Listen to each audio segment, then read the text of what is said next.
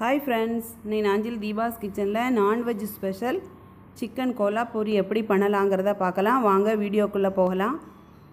அரை kilo chicken எடுத்து வச்சுருக்கேன். தேவையான அளவு உங்களுக்கு கொத்தமல்லி இலை புதினா இலை இதை நல்லா பேஸ்ட் பண்ணி ஒரு ஸ்பூன் போட்டுக்கலாம். தேவையான அளவு மஞ்சத்தூள் தேவையான அளவு உப்பு புளிக்காத தயிர் ஒரு ஸ்பூன் போட்டு நல்லா மு முப்பது நிமிஷம் ஊற வச்சு நல்லா விரவி வச்சுக்கோங்க. ஒரு தேர்ட்டி மினிட்ஸ் அப்படி ஊற விடுங்க. அது ஊறக்கூடிய அந்த நேரத்தில் கடாயில் தேவையான அளவு எண்ணெயை ஊற்றிட்டு உங்களுக்கு கொத்தமல்லி அந்த புதினா அந்த பேஸ்ட்டை போட்டுக்கலாம்.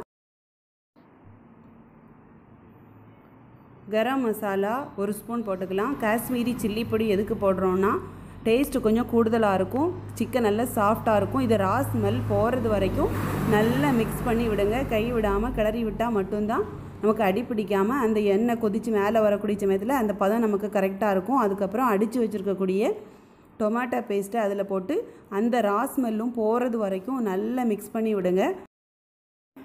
இப்போது நம்ம கைவிடாமல் அந்த பேஸ்ட்டை நல்லா கிளறி எடுத்தாச்சு. எண்ணெய் அப்படி மேலே வரக்கூடிய சமயத்தில் நம்ம நல்லா அடிப்பிடிக்காமல் கிளறிக்கிட்டே இருக்கணும். இந்த பதத்துக்கு எடுத்து வச்சுட்டு அதுக்கப்புறம் நம்ம ஏற்கனவே ஊற வச்சுருக்கக்கூடிய அந்த சிக்கன் துண்டுகளை அதில் போட்டு நல்லா மேக்னடேட் பண்ணிக்கலாம். அதுக்கப்புறம் கொஞ்சம் நேரம் அதை ஸ்லோ ஃப்ளேமில் வச்சு நல்லா மிக்ஸ் பண்ணி விட்டுக்கோங்க. கை விடாமல் கிளறிக்கிட்டே இருக்கணும். ஃப்ளேம் வந்து ஹையில் இருக்கக்கூடாது. ஸ்லோ ஃப்ளேமில் இருந்தால் மட்டும்தான் சிக்கன் பீஸ் உங்களுக்கு நல்ல அழகாக வேகும் வெந்து எடுக்க முடியும்.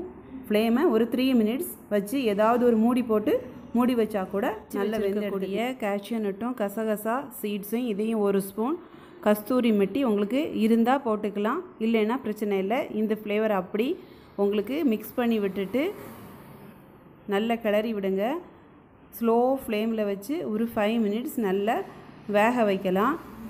வேக வச்சதுக்கப்புறம் உங்களுக்கு டேஸ்டான கோலாப்பூரி ரெடி ஆயாச்சு. இந்த ரெசிபி உங்களுக்கு பிடிச்சிருந்துன்னா லைக் பண்ணுங்கள் ஷேர் பண்ணுங்கள் மறக்காமல் சப்ஸ்கிரைப் பட்டனை கிளிக் பண்ணுங்கள் அடுத்த நாஞ்சில் தீபாஸ் கிச்சன் வீடியோவில் பார்க்கலாம்.